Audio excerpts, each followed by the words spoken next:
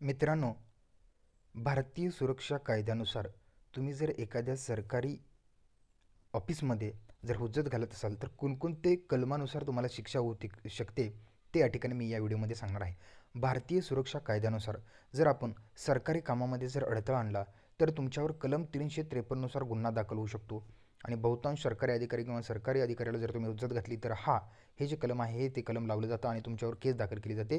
सरकारी कामात अडथळा कलम नंबर तीनशे त्रेपन्ननुसार कारावासाची शिक्षा दोन वर्षासाठी तुम्हाला होऊ शकते. त्याचबरोबर जर तुम्ही सरकारी कर्मचाऱ्याची वाद घातले तर पाचशे चार कलम लावून दोन वर्षाची शिक्षा तुम्हाला होऊ शकते. त्याचबरोबर सरकारी कर्मचाऱ्याला जर तुम्ही मारहाण केली तर तीनशे बत्तीस तीनशे सदतीस अशा पद्धतीची कलमं लागू शकतात. त्यात जर तुम्ही या ठिकाणी दोषी ठरला तर सात वर्षाची शिक्षा तुम्हाला होऊ शकते.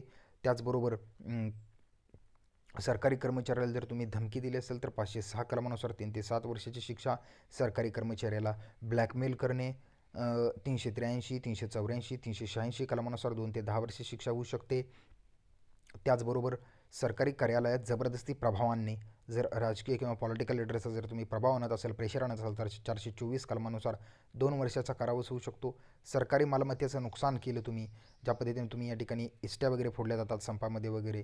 जर सरकारी कार्यालयात दगडफेक केली काचा फोडल्या तर तीनशे अठ्याहत्तर तीनशे चौऱ्याहत्तर कलमानुसार तीन वर्षाची शिक्षा होऊ शकते.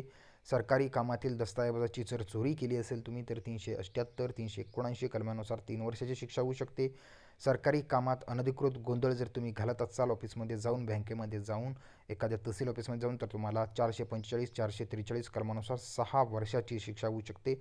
आणि जर तुम्ही सरकारी कामात गोंधळ घालणे अडथळा आणणे अशा पद्धतीचं जर कृत्य केलं असेल तर तुम्हाला चारशे पंचेचाळीस चारशे सत्तेचाळीस कलमानुसार सहा वर्षाची शिक्षा होऊ शकते. जास्त करून तीनशे त्रेपन्न हे कलमानुसार तुम्हाला दोन वर्षाची शिक्षा होऊ शकते.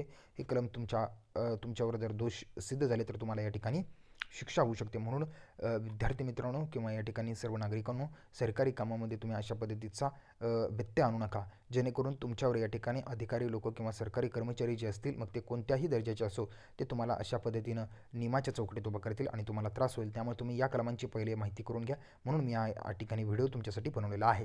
मित्रांनो हा व्हिडिओ तुम्हाला कसा वाटला ते मला अवश्य या ठिकाणी कळवा. त्या त्याचबरोबर माझ्या चॅनलला लाईक करा सबस्क्राईब करा आणि शेअर देखील करा. आणि नवीन नवीन व्हिडिओ पाहण्यासाठी माझ्या चॅनलला या ठिकाणी सबस्क्राईब करायला विसरू नका. धन्यवाद.